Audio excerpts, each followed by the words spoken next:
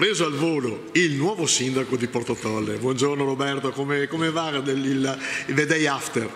Buongiorno Leandro, buongiorno a tutti. Beh, insomma, eh, sai, l'emozione si fa sentire, ma non c'è neanche tempo dell'emozione perché stamattina, tra l'altro, con il vento e con la mareggiata che ha colpito anche le nostre spiagge, ero già al lavoro con l'ufficio tecnico per vedere, per capire un po'. Speriamo che il tempo cambi e si ci dia la possibilità di verificare anche naturalmente lo stato delle spiagge.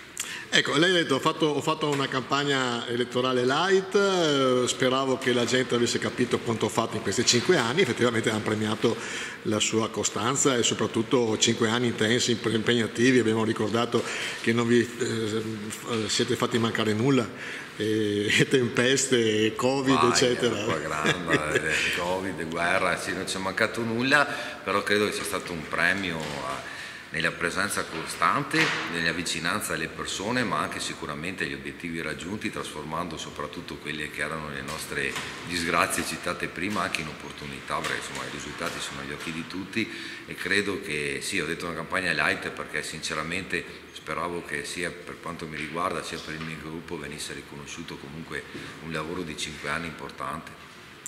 Quindi adesso si pedala ancora.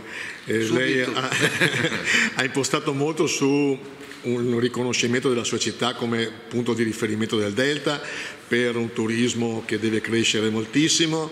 Altre, altri obiettivi per questi cinque anni? Sì, noi ci siamo già messi al lavoro perché tra l'altro ieri iniziava anche la commissione limitatrice a fare la verifica per quanto riguarda le manualità delle spiagge che è un argomento importantissimo proprio dal punto di vista turistico.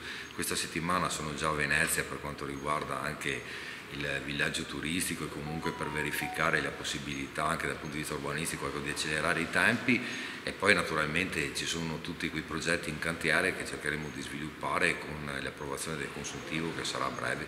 Complimenti Sindaco. Grazie, gentilissimo, grazie a tutti.